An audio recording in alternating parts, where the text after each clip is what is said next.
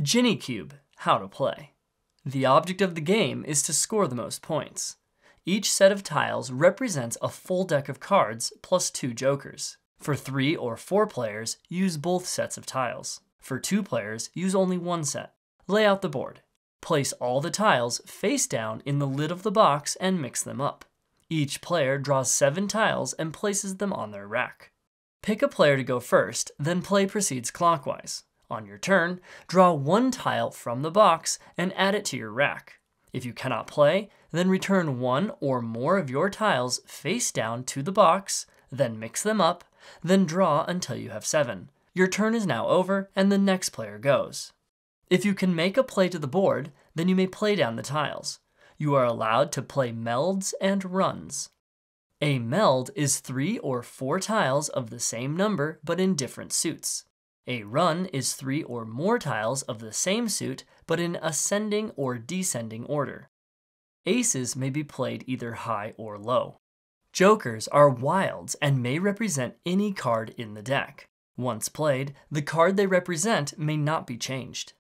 The first play of the game must be played to the center red start square. Once the first play is made, all subsequent plays must be made in crossword fashion by incorporating at least one tile of an existing meld or run into your play.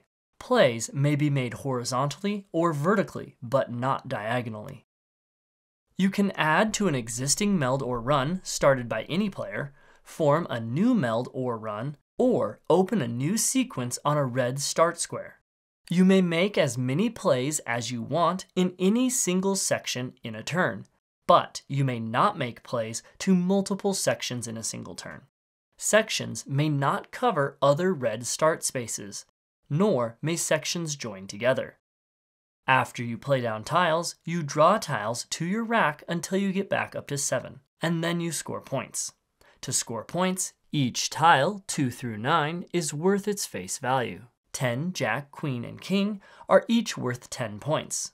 Ace is worth 1 point when used in a run, and 15 points when used in a meld. Jokers are worth 0 points. Add up all the tiles in the entire meld or run, not just the tiles you placed, and record your score on a paper. If you covered a bonus square, apply the bonus. Yellow doubles the value of any single tile on it, while green triples it. Red doubles the value of a meld or run, and blue triples it. Adding tiles to an existing meld or run does not grant a red or blue bonus. Instead, you must create a new meld or run to get that bonus.